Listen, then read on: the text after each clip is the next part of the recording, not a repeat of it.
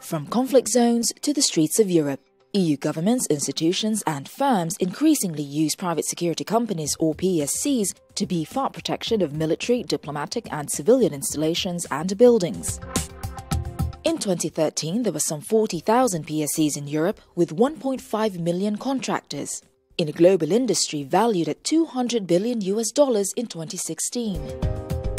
It's controversial. Some question the very idea of having to outsource security needs to the private sector. Bueno, pero nosotros lo que abogamos es por limitar e incluso sacar las compañías privadas del ámbito de la defensa, que es competencia exclusiva de los Estados-nación. Recent scandals have raised serious concerns. PSCs have been accused of committing human rights violations and even causing casualties. Rapporteur Hilde Vautmans says we need to have EU standards in place, more democratic control over the use of PSCs, and clarification of their responsibilities.